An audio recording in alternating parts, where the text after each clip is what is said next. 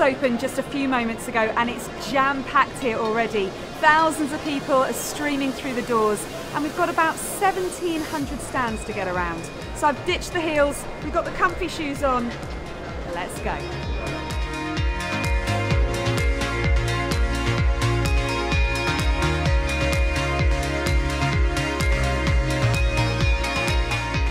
Well, we've all seen talent on green screens before for weather broadcasts and special graphics segments, but maybe not like this.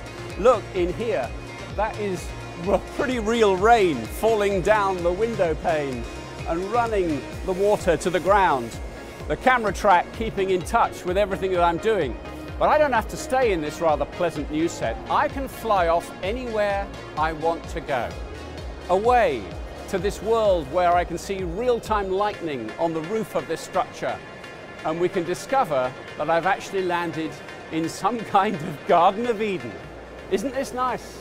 With the flowers gently blowing in the breeze.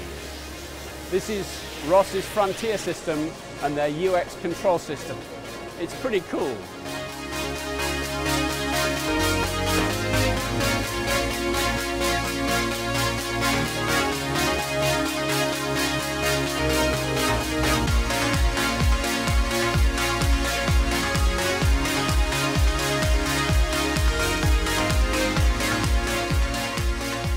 Yes Tech are exhibiting here at IBC for the very first time and wow, have they gone to town. Check out these stunning screens with these beautiful images and it's so clever. It's being done by just one projector.